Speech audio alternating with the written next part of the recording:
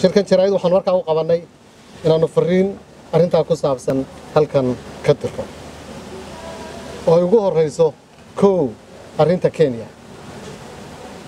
Sida aad la wada socotaan sagaaliyo labaatankii noofembar waxa aanu wada tashi ugu yeedhnay safiirkeennii inoo joogay kenya.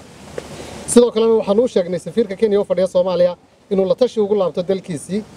Waxaan rabnaa inaan shacabka soomaaliyeed u sheegno sababtan ugu kaliftay tallaabada diblomaasiyadeed ee aannu qaadnay sidaan hore u soo sheegay? Dowladda federaalka soomaaliya waxay ku shaqaysaa dareenka iyo rabitaanka shacabka soomaaliyeed. Waxaanay u taagan tahay difaaca iyo ilaalinta madax bannaanida dalka.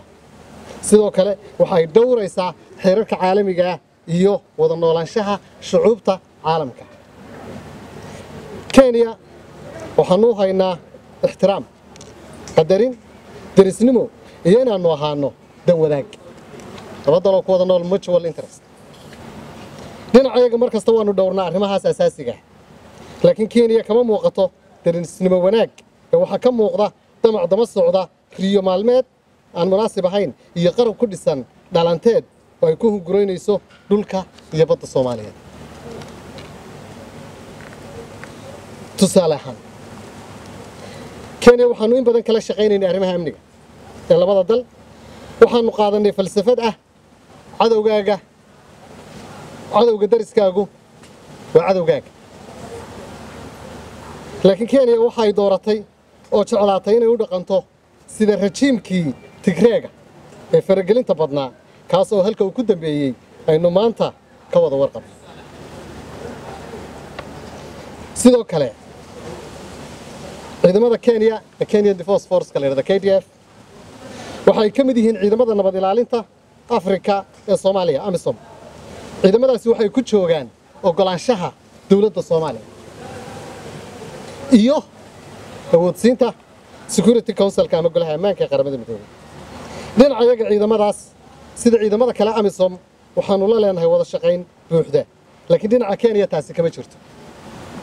Marar dhowra bay k d f ama kenya defense force ka baxeen goobo lagu ogaa iyagoo aan kala tashan dowladda soomaaliya iyo hoggaanka sare amisom weliba haddaan arrintaa faahfaahin idinka siiyo.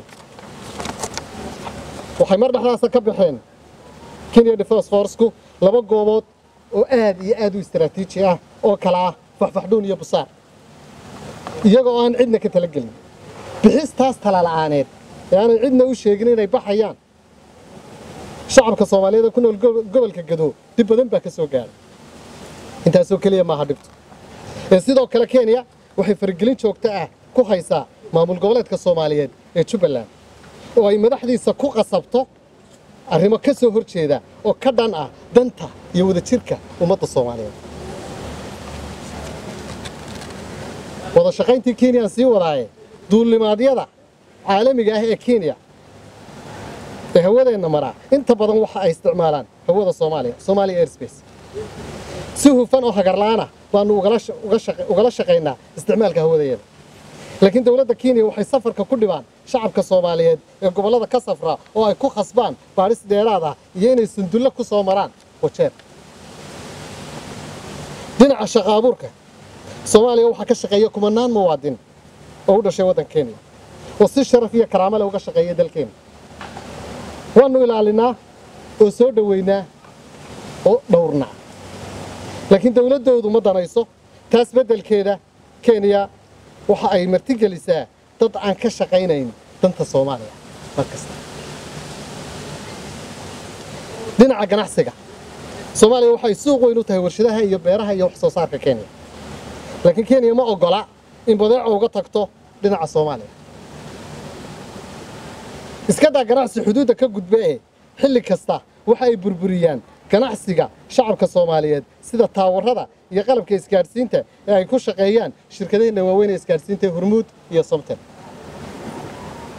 dhibaato kale oo shacabna inta badan oo ay ciidamada kenya defense forceku geystaanna oo gobolka gedo iyo gobolka jubbada hoose iyo gobolka jubbada dhexe ka geystaanna wuuna soo gaaray. Intaas oo dhan oo jirta intii soomaaliya ka soo kabatay ee ay soo kabatay marna ma dhicin in hal siyaasi oo mucaarad ku ah dowladnimada kenya laga soo abaabulo muqdisho iyo soomaaliya si loogu khalkhalgeliyo dariska laakiin taas beddelkeeda nairobi waxay noqotay meesha lagaga soo duulo soomaaliya lagaga noqdo heshiisyada lagu gaadho soomaaliya gudaheeda lagagana soo abaabulo rabshadaha siyaasadeed ee la rabo in loogu carqaladeeyo dowladnimada dhismaysa ee dalkeena annagoo ka duulayna rabitaanka shacabka soomaaliyeed ayaannu si aanu dareeska dareenkaa ula wadaagno. Danjiraheenna la tashi ugu yeedhnay safiirka inoo fadhiya nairobi labaatankii bisha noofembar ee hadda dhammaatay arrintan inaan u yeedhno danjiraheenna miyaanu ku degdegnay? Mise waanu la soo daa maya maanu ku degdegin.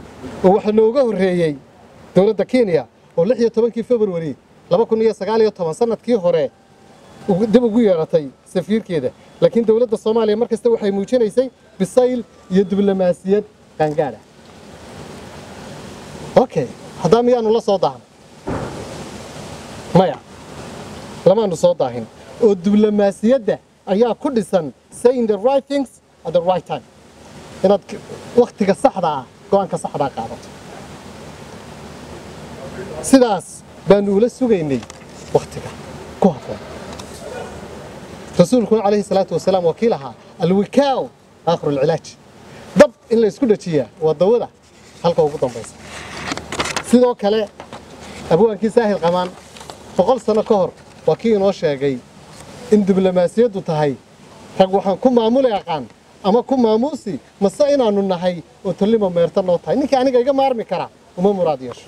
Saddex magacalee xaajadaa layma marasiiyo qofka waa loo dulqaataa dowladaha waa loo dulqaataa diblomaasiyadda waa loo dulqaataa laakiin markay timaado wakhtigeeda waa laga jawaabaa. Saasaannu ugu yeedhnay safiirka inoo fadhiya kenya.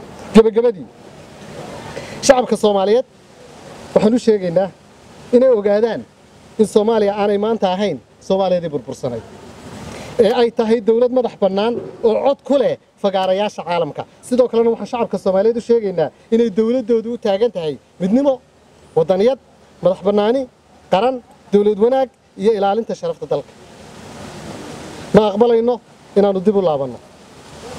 Ma aqbalayno inaannu hal dhibic ka tanaasulno awoodda iyo madax bannaanida qarameed ee soomaaliya? Sida uu nafarayo qodobka koowaad ee dastuurka jamhuuriyadda federaalk soomaaliya faqraddiisa saddexaad iyo sidoo kale qodobka labaad faqraddiisa koowaad iyo faqraddiisa toddobaad ee axdiga qaramada midoobey oo adkaynaya madax bannaanida iyo in sharci darro ay tahay in la farageliyo dalxora ugu dambayn siyaasiyiinta mucaaradka ku ah dowladda soomaaliya.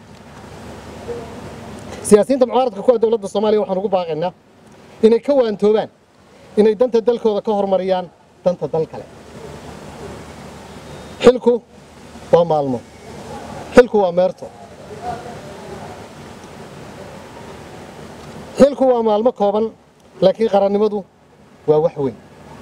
Annagu maanta waxaannu siyaasadda ku dhisan kalsoonida iyo sarraynta magaceenna ugu shaqaynaynaa si jiilka soo socdaa aanay ugu noolaan qaranjab iyo gacmohoorsi ee ay ugu noolaadaan qab iyo qarannimo. Siyaasi kasta oo soomaali ahna sidaasoo kale ayaannu ku boorinaynaa. Waa mahadsantii